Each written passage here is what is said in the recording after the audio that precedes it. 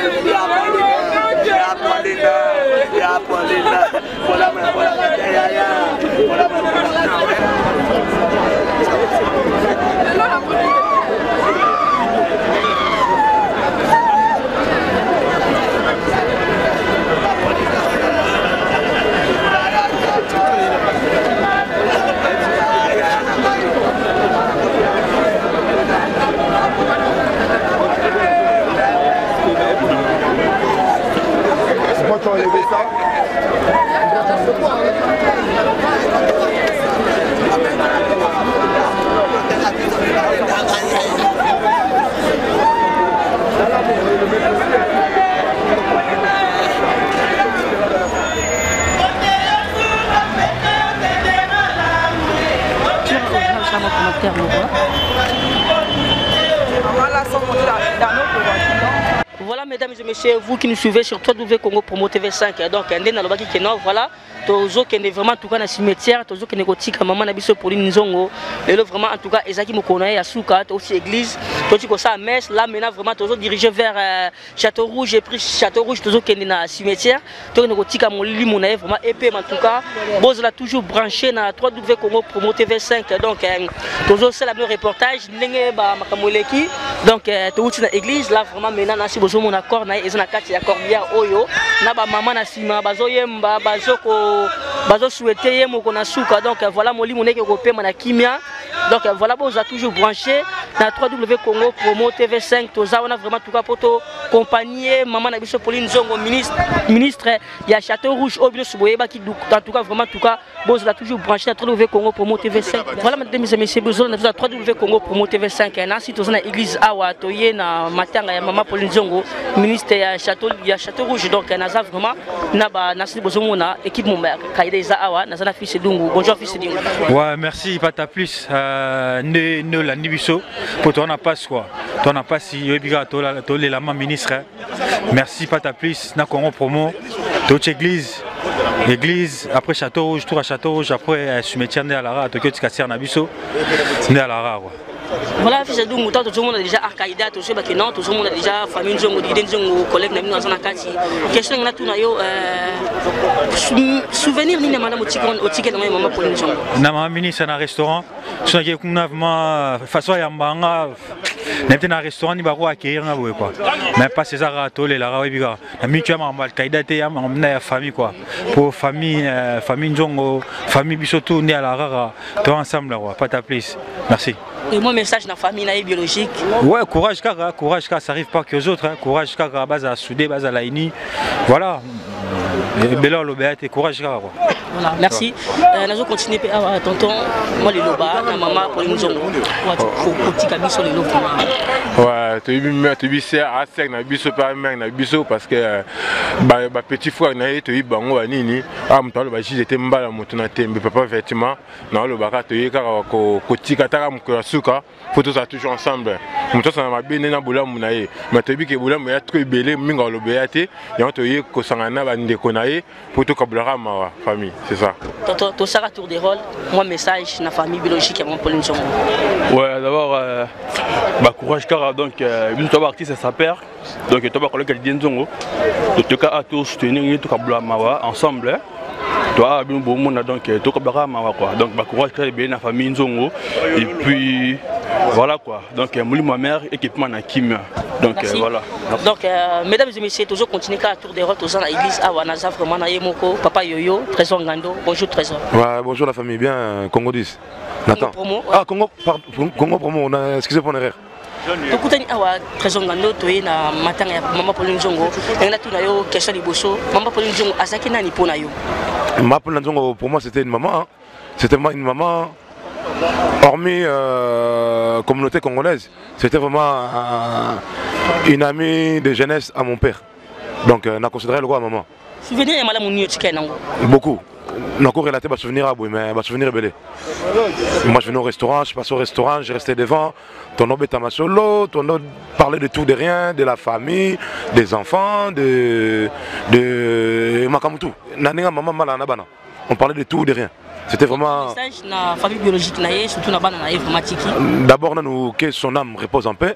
là où il est parti nzambe vraiment azwa ye atia ye vraiment na place oyo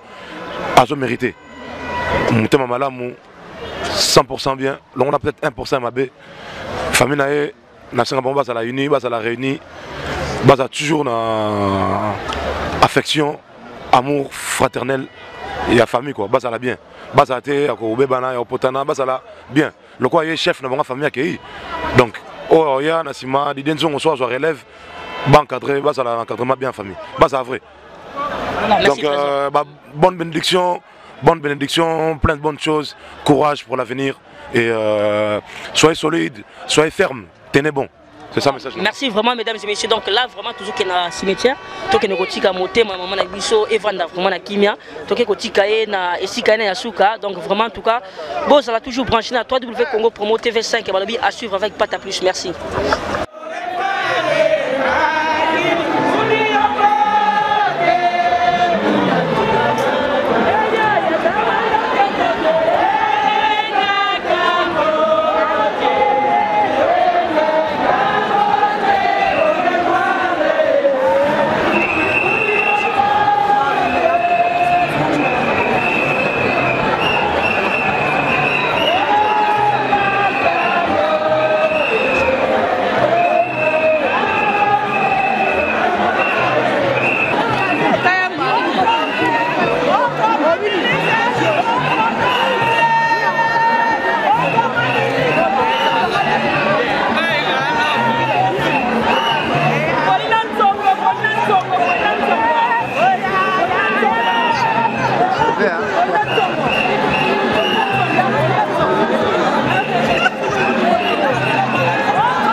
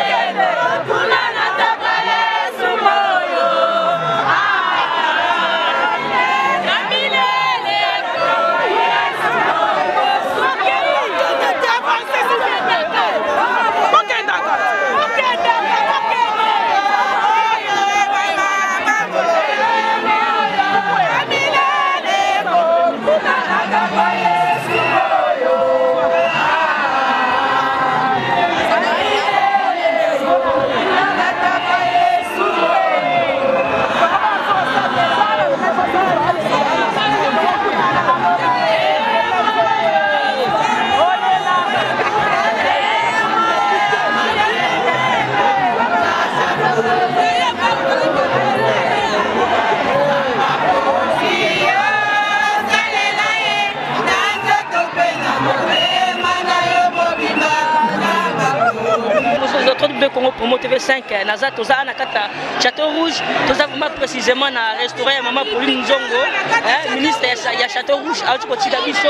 toza vraiment ana ba mama Château Rouge nasi bozomona défilé ezosalama awa vraiment tuka toza kaka wana mpo tozwa bino bainformation tozwa bino baimage oyo tomemela bino na 3 w congo promo tv 5 nayebi ke boza ebele bozotala biso vraiment tuka merci na confiance bosalaka congo promo congo promo tv 5 donc bozomona baimage moko balaki bamama ya chateau rouge animation ya bamama chateau rouge bozomona voilà bamama chateau rouge baza vraiment pleine ambiance parce que baye kolela moninga na bango baye kolela moninga na bango mama pauline nzongo hmm? ministre ya chateau rouge boyoka bino moko bamama ya chateau rouge boyoka bino moko bamama chateau rouge boyoka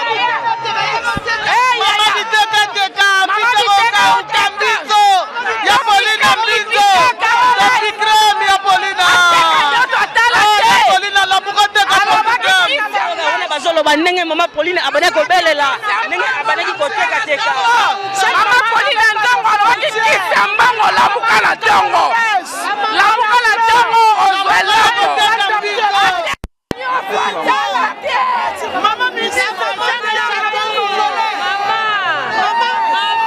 bozolanda biso na 3 w congo promo tv 5 donc toza awa toza awa mpe château rouge vraiment en tout cas naza nano litambola echange stage donc euh, bino oyo nyonso boyebi ke non mama ministre euh, pauline nzongo dernier anniversaire na ye asalaki se noli tambwe euh, motu animaki noli noli première question image na yo ezozonga na motu ya mama pauline nzongo eza nini en tout cas pata plus merci beaucoup na micro euh, vraiment c'est triste nazalaki moto nasalaki dernière image na ezalaki anniversaire ezalaki likambo ya esengo mais après quelques jours tomoni ekomi makambo ya mawa yango moni nabaki tokati baaktivité na biso nyonso mpona topesa bahonneur oyo esengeli na mama oyo oyo mpe acceptaki ngai elaka azalaki nao na bomoi elle était vivante yango moni meme badeplacement mosusu na ngai ke meme dubai nake esusu te mpona tozala awa en tout cas ezo nde naza boye image oyo ezongela nga mingi ezaka image ne ya fete en fait yango moto ezongela nga plus en tête mais nzambe nde moto aponaki azwa ye et voilà vraiment c'est triste aujourd'hui toi devant sa restaurant na ye et euh, kalami te euh, toke cimetière Vraiment ça fait mal, c'est vraiment triste. Voilà nous dit tambo tout le monde a souvent tant muta kufa vraiment tout cas tout le bara mingi ya malamu mutu o asala vraiment tout cas on a tout nos questions tin na loba souvenir nini vraiment oh yo tikala nango ya maman Pauline Djongo. Souvenir on a tikala nango aza maman wa ya mbanga na poto na loba na poto na milieu hein. Là la mep na milieu pour la première fois ayamba nga na restaurant na ye awa na nini awa na titanic awa na rue de panama ayamba nga vraimen andima koyamba nga bazalaka ye alpha ngungu didie nzongo eh, bbc nzongo leti nzongo ayamba nga vraimen na restaurant na ye awa epai na ye souvenir na nga vraimen ya malonga oyo andima kotia bamasanga na ye kotia baprochette na ye kotia bambisi na ye bakwanga mpo bato basepela koyamba journaliste awa te kinshasa aye na poto souvenir na nga vraimen malonga yango wana na deuxième souvenir na nga ya kondima ke na anime fête na ye en plus elle a insisté ke il faut kaka nazala c'est ce qui était bizarre vraiment elle a, elle a insisté ke il faut nga vraiment kaka na anime euh, anniversaire na ye e ezalaki mpe eloko ya suka vraiment yango wana dernière question message na famille biologique na ye bbc zongo dide nzongo bato nyonso message nini oza nango en tout cas toyebi ke ntango moto akufaka makambo ezalaka ebele ba dispute et tout et tout na selaka na famille nzongo bazala vraiment unis bazala soudé l'icône hein, pilier ya famille aza lisusu te mais baluka bameka kosimbana la main de la main parce que l'union fait la force yango esala force na bango encore une fois je présente mes sincères condoléances à la famille nzongo et puis na bamama château rouge nyonso paris nyonso parce que azalaki maman ministre voilà azo pese lokola bamare malou nde toya mare malou azo pese mpe lokola bongo yango vraiment torende ye bahonneur oyo esengeli ah, merci noli merci merci pata monsieur château rouge est tombé château rouge est tombé c'est triste vraiment en tout cas tomona mokili oyo nyonso baye korendre dernier hommage na mama na biso mama pauline nzongo ministre ya château rouge vraiment en tout cas c'est triste hein. donc oyo oh, tobanda kobenga biso nyonso mama ministre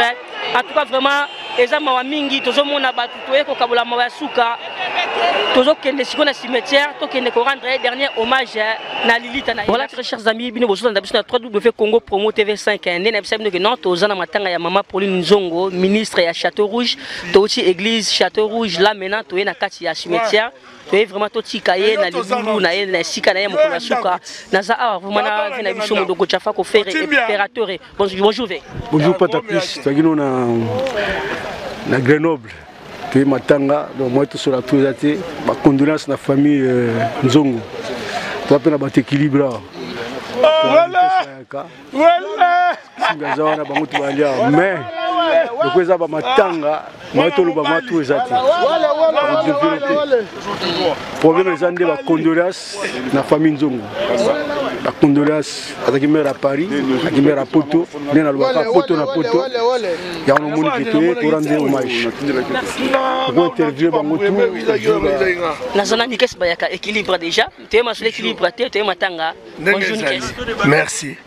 bonjour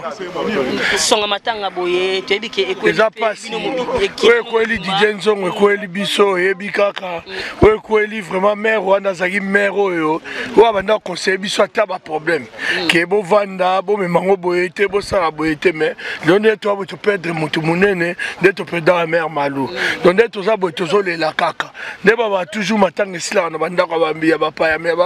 ya bavasin mais biso moko bakoma matanga esilaka te toye kotika mare toza vraiment na motema na biso tozolela meme a philippe pleine mais tozolela quoi toujours merci toza bamenga papa français aza awa mwa liloba na famille ya lilien zongo bon mpo na ngai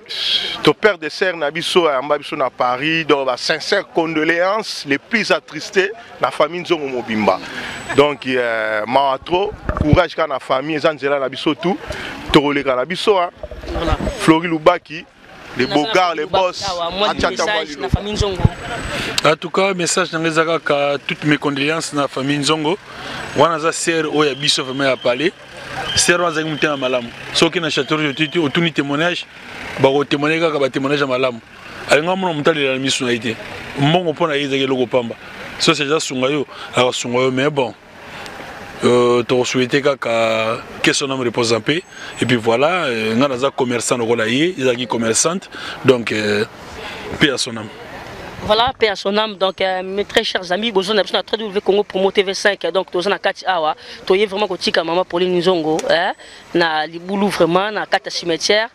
toye kotika ye awa apema na kimia nyonso donc euh, bozala toujours branché na 3w congo promo tv 5 balobi assurematch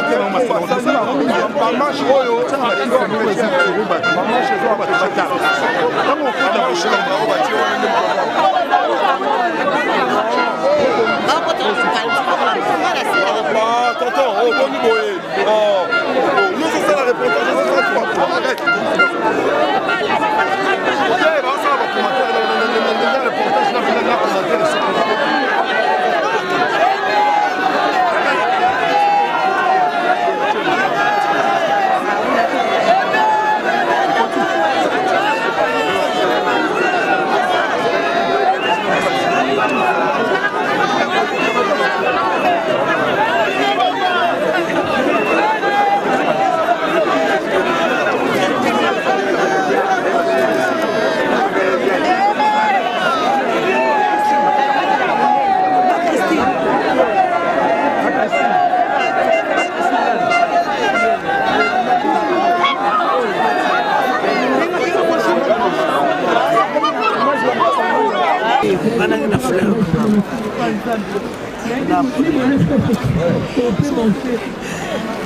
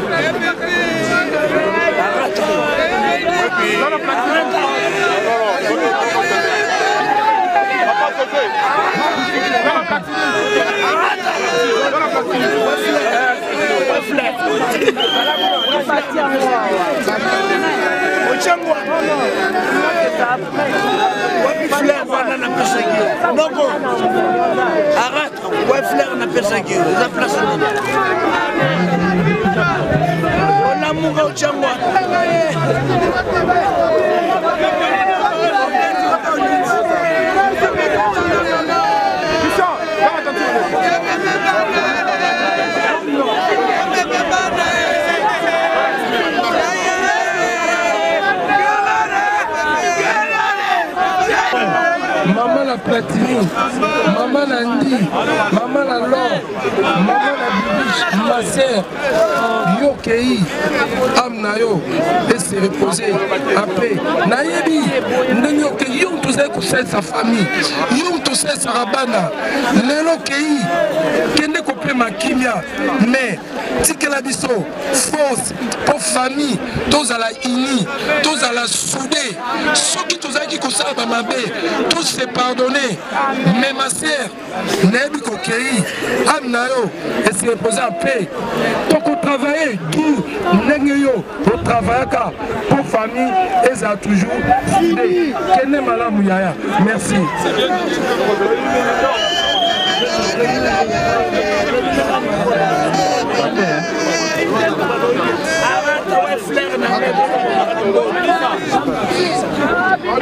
Arata!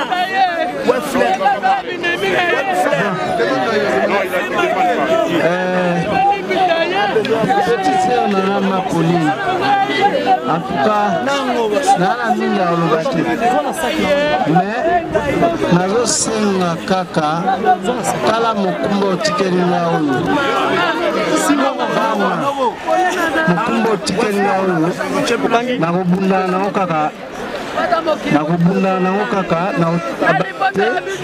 nakozala na bana nakosalisa bana nyonso nana na bango ti nzambe aobela ngai nandimaki te ozala boye ngai nakanisaki yo okunda ngai ngai yaya sikoyo ngai nakomi nakundaka yo vraiment naa na mingi aloba te kendeka malamu otikala na bana kobokolaka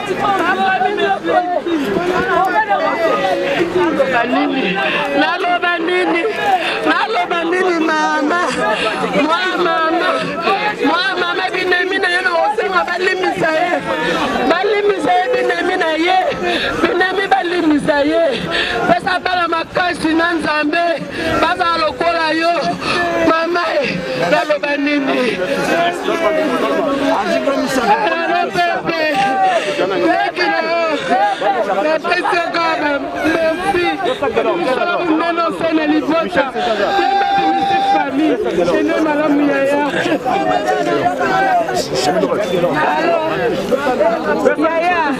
yaya yaya Yaya, pema na yo, nzaka lola mpo na yo, pema na yo, pe, okibisa mama na ngai, okolaki mama na ngai, sasike mande, okibisa.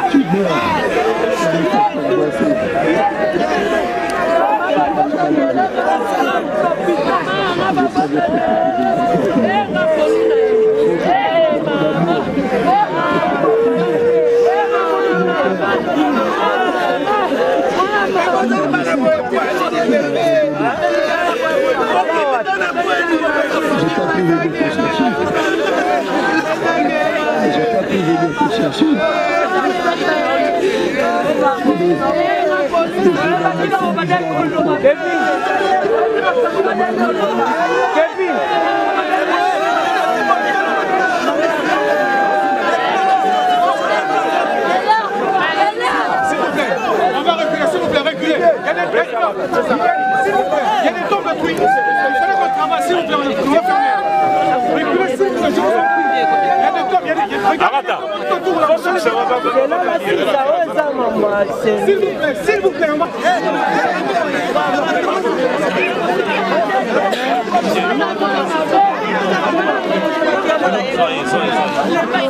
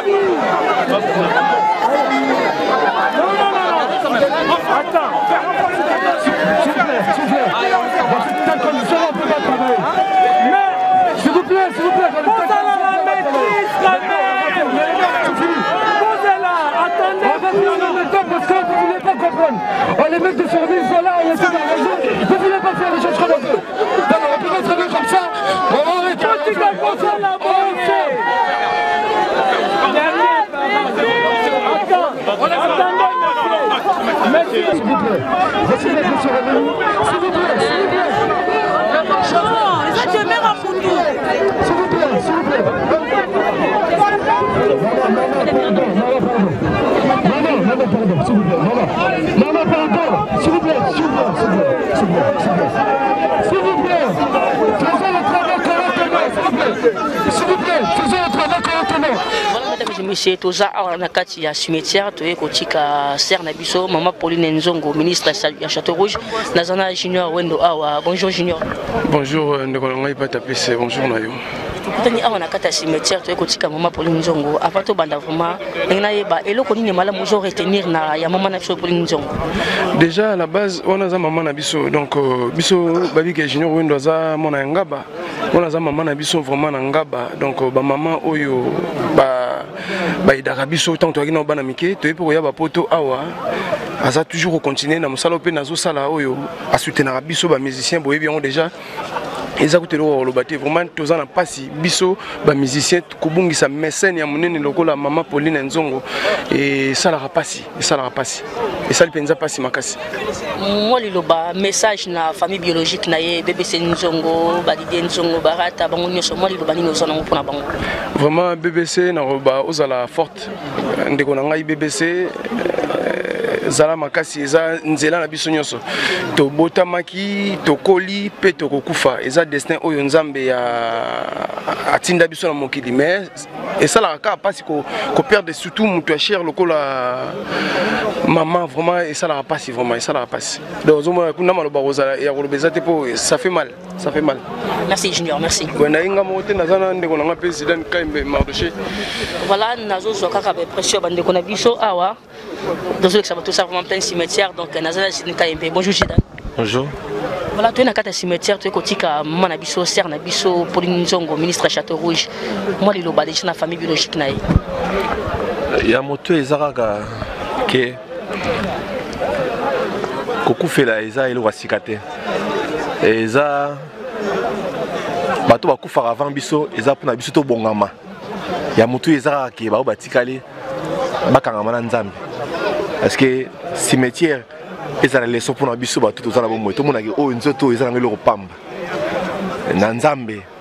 nde solution ezali makasi kaka batikali batya elikya na bango na nzambe parce batyaka elikya na moto muno moto akei donc so batya elikya na nzambe peu importe bana batikali bango moko nzambe akosala bango grâce so bapesi pesi elikya na noko moko atikali noko wana akobandona yango mpe un jour conseil napesa yango kaka ke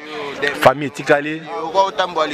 elikya ya suka bokotya ka ya nzambe nzambe nde moto akobongwana ata akochange te ntina suka ah epuis mpo na biso bato toye kokunda ezalaka leso mpo na biso tomonake nzoto eza eloko pamba eza bilamba te eza mituka te eza kozala motema malamu koyeba kozala bien na bato koyeba kolimbisa koyeba ko pardonner koyeba kosala bolamu mpo bolamu ekolanda yo ntina kunda place okufi ya motu yango wana merci papa donc euh, vraiment en tout cas vous qui nous suivez sur www congo promo tv 5 en tout cas merci na fidélité na confiance bozosala biso vraiment toza na kati na kati ya cimetière awa toye kotika mama na biso pauline nzongo hein, ministre ya château rouge vraiment en tout cas eza mpasi na motema eza mawa tomoni ndenge bato bazolela tomoni ndenge famille ezolela en tout cas eza mpasi mais tozalaka kaka malamu na bato tozalaka malamu biso oyo totikali vraiment tuka topesaka mingi confiance na nzambe parce que soki topesi confiance na bato ya mokili moto ya mokili akokende mais nzambe nde atikaka vraiment bana na ye ta tuka tozopresente bacondoléance na famille na ye mobimba eh, didie nzongo eh, babi bino tout vraiment tuka boza makasi nzambe apesa bino makasi balobi tozocontinue ka toujours avec eh, pata plus babi nabosani te ye moko derrière la caméra pichu vraiment tuka pichu pdm merci na yo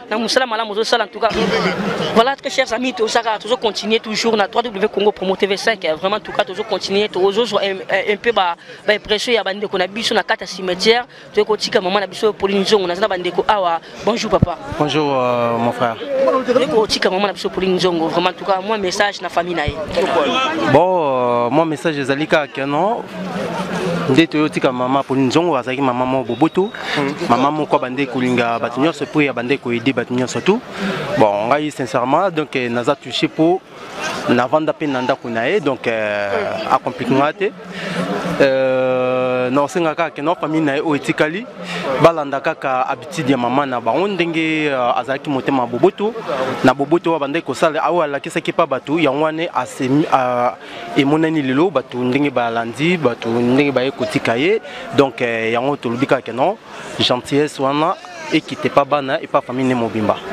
voilà papa so oza message ya kobakisa mpona oyo nyonso ndeko na biso atoloba we nga suna na suna message ya kobakisa parce que eh, euh, ndenge nazoloba boye eza pasi parce que séparation nyonso to esalaka pasi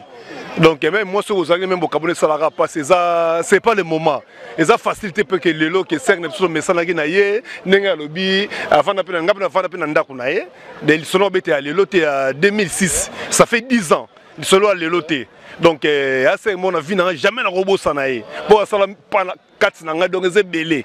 donc eh, nzambe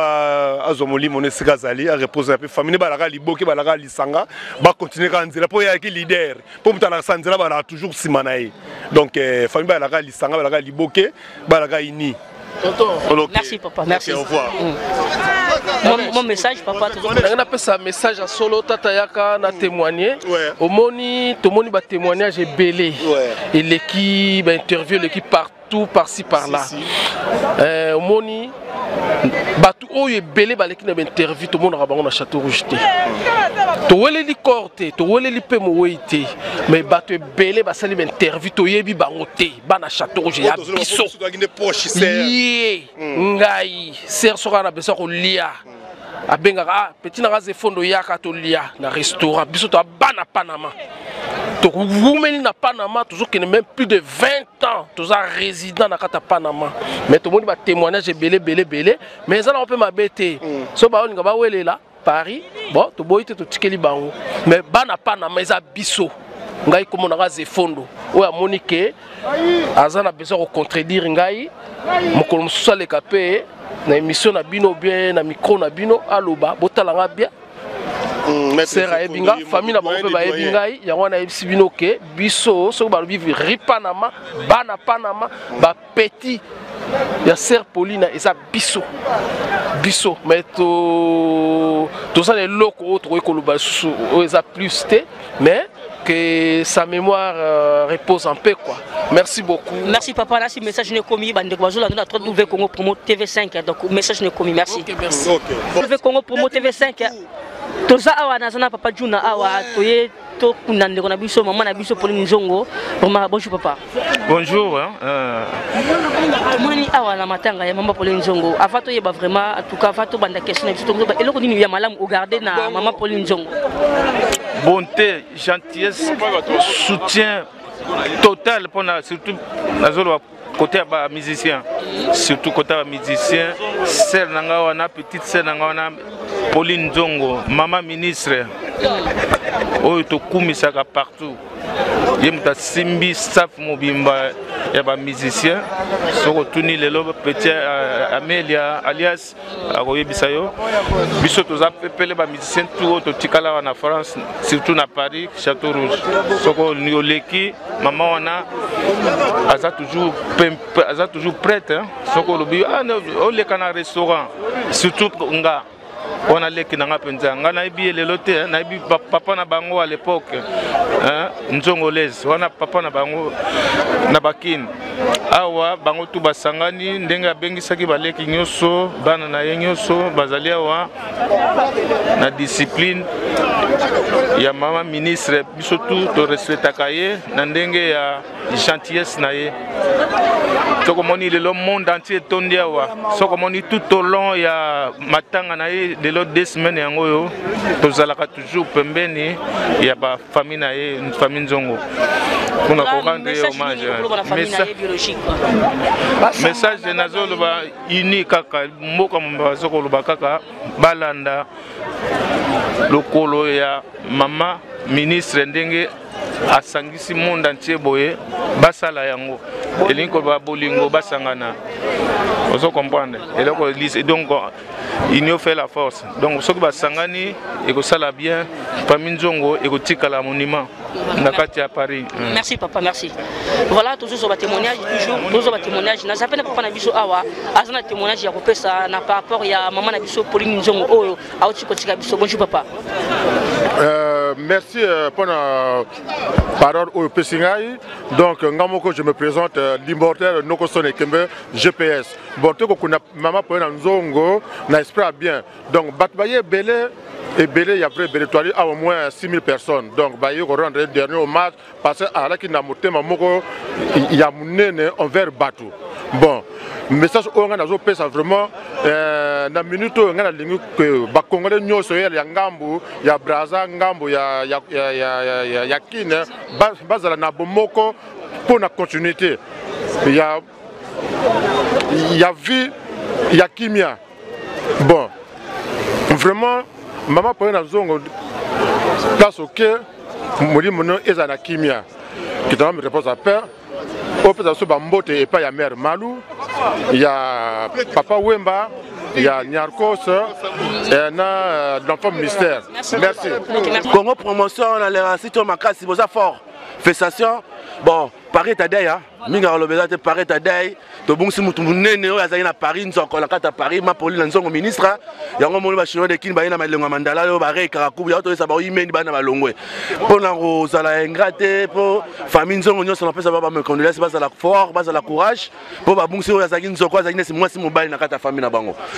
bazala kaka maîtrise bagelan nzongo babebese nzongo bapana barata nzongo bango tout mpo ya boye ezala te bomoni nde toye kuna mare na honneur ezabo eza te ezalaki neti bamare malo bakenda apesi grand dame mapoli na nzongo mama ministre yango omoni bachinois de kiprocrede ya sala banikasi bayaka baza bamenga baparigo babogar modoro ja baofere ye moko azalaki na kata cimetière ezala nanu te toye kaka kopesa kaka mare dani mangine ya suka akende bien nzambe abatela ye mpo toyesai bango eh, voiture na ba ndaku ekenda na lilita te lilita bakenda kaka na bilamba yango omoni naye kopesaka mare hommage ya bilamba bareikaka kubu merci chino de kin lelo vraiment toye toye toye mpona mama matanga toye mona bilamba te mais oyo tomoni déjà tulanga nini ezalaka ntango moto akufi fo kolata kosepisa nzoto kouvi nzoto ntango moto akufaka akeya yango mona ngai nayaka kaka olela bawei kopana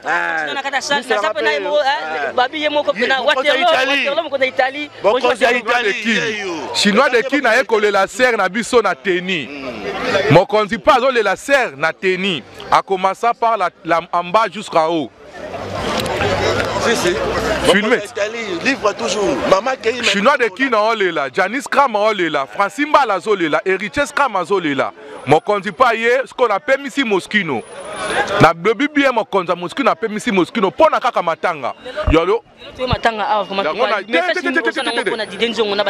message ezali ke sere na biso bakundi ye kitoko quand on dit bakundi ye kitoko c'est-à-dire bato balati bilamba koloba te ke message eza ya bilamba te message bakundi sere bien parce que bato balati mpo soki bato balataki te alinga alinga bakunda ye te ntango mosusu omona kaka kolata yango yango nouvelle collection nouvelle collection mais lelo toyeli mwa bilamba te vraiment tuka tozo continue kaka toujours male malembe naza na bandeko mpe awa naza na ve na nga ala deskila balobi naza na bandeko na nga awa Bonjour mon vieux. Bonjour Pata. Ouais. Tokuta kata cimetière, tokuta maman Pauline Nzongo. Moi message na famille na aide vraiment. Donc euh, ma condoléance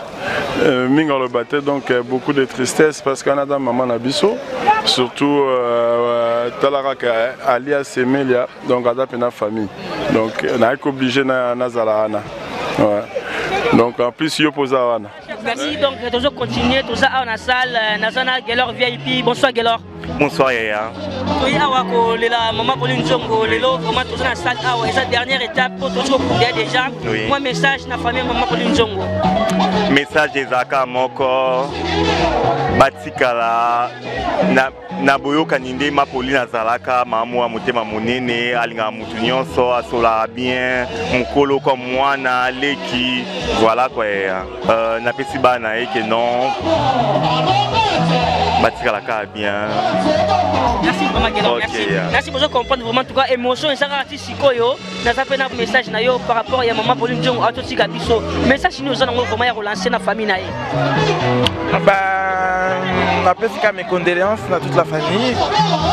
etalaka tobimi mwe na mali Bemadi ya makasi na Paris mikolo oyo bana poto bayebi me so tobimi boye eza kaka mpona mama Paulina donc mpona fayi mobimba ba courage kaka donc nzambe apambola bango apesa bango courage merci vraiment merci voilà chers amis tozo continuer toujours kaka toza na salle awa toza libanda salle précisément donc euh, esika toye kolela mama na biso mama Pauline Nzongo eh, ministre ya Château Rouge nasi bozomona naza na artiste monene ya mboka na biso na kombo ya ya stino mubi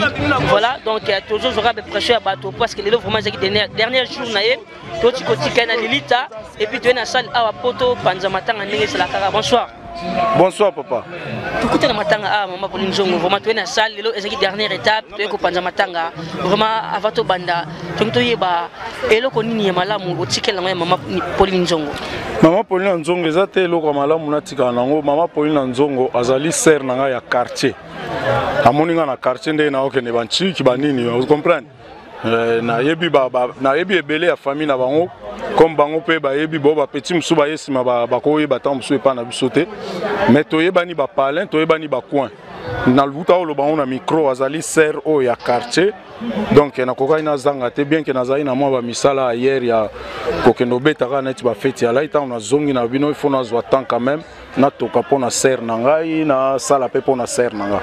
donk eh, eloko ya malamu na koloba kaka ke non azalaki motu moko bien azalaki kokaba azalaki gentil azalaki méchante femme te voilà maman pauline nzongo atiki biso ye tanga ye ekoki déjà mais atiki vraiment une grande famille nini okoloba na famille na ye vraiment na oloba kaka ke kimia ezala parce que ntango respect eyali respect eyaka na bolingo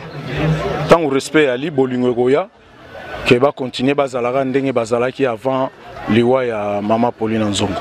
Merci, merci. Bazala bazala na boyokani vraiment ndenge ba famille ezala ezala te ba tiraillement po ebenda ka bato vers le bas. Sikoyo to a besoin to kende vers le haut. Donc c'est pas la peine to soyi likambo ya li en tout cas bayokana babongisa banoko baali batata leki baali bamama leki baali batante baali donc euh, je crois que ekoleka bien voilà merci vraiment en tout cas tozo continuer kaka ah, papa moi message na famille ya mama pauline nzongo vraiment oui euh, na famille ya mama pauline nzongo aser na biso tozalaki ne déjà na bamboka oyo tozwi ne mpena batemp ebele bambula ebele baser bayebi ndenge biso toutaka bamboka toyaka baser bakadraka biso na bamboka oyo surtout na 18e Ah, nga papi shungu na 18e vraiment baser wana mpena bato balakisa biso banzela batio mosusu ndenge kaka ezalaka donc eh, na kosenga kaka na famille biologique na ye ke bazala kaka fort ndenge kaka vie na biso mobi auti oloba bazala kaka fort bazala uni après la vie continue hein, la vie continue on est là pour ke eh, tozala kaka mpo la vie continue Vraiment, papa surtout bito tanga ba souvenir ya maman Pauline Nzongo. Souvenir ne malamu yo tikal nango. Bon, euh, aza sœur na biso amoni que liwa euh, eza sango ya